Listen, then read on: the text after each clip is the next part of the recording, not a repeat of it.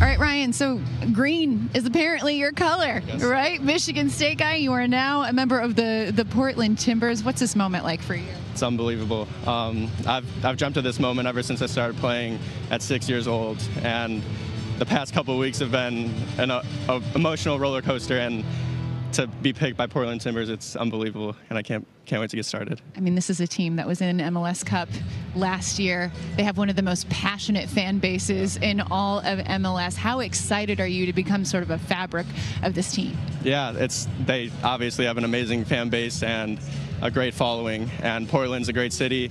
Um, yeah, I just I'm excited to get started. I can't, I don't have much too, too much to say. If your if your mom was standing here right now, what would she say to you?